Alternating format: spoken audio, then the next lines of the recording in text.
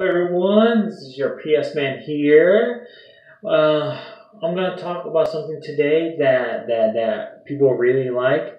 I just made this cosplay for this long ass sleek shirt like this just to cover this up, and I'm gonna wear some white gloves, but I'm not complete yet. I already have the sneakers on. The only thing I need is the white gloves, and that's it, everyone, and sunglasses.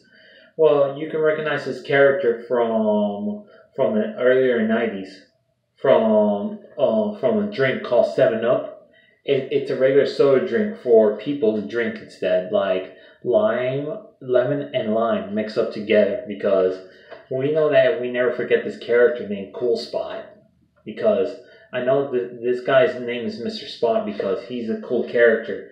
Just like going traveling adventures or or doing a commercial, or he had a Sega Genesis or a Super Nintendo system. And they even had a game too with him too.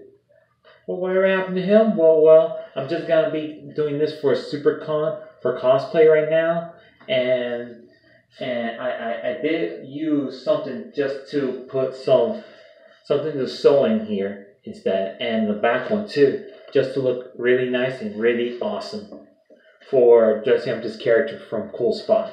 And of course, I'm gonna be posting of the 7 Up commercial like this. Cha-ching!